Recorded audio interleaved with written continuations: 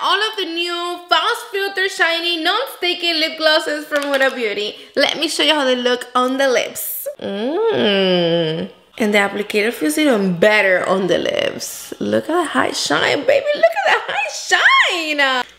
And it's not sticky. This one is Sugar Baby, and it is a light pink. There is some light pinks that I don't like the way they look on me, but this one it's given. Then Honey, it is a light peachy nude. I'm not lining my lips at all. Here you have Foxy, it is a caramel brown. This one is actually really pigmented. Next you have Bombshell, it is a pinky brown. The applicator is pointy, so you don't even need lip liner. Push, it is a berry berry. I'm actually obsessed with this one because it's cool tone. This one is the darkest one, Cocoa. Wow,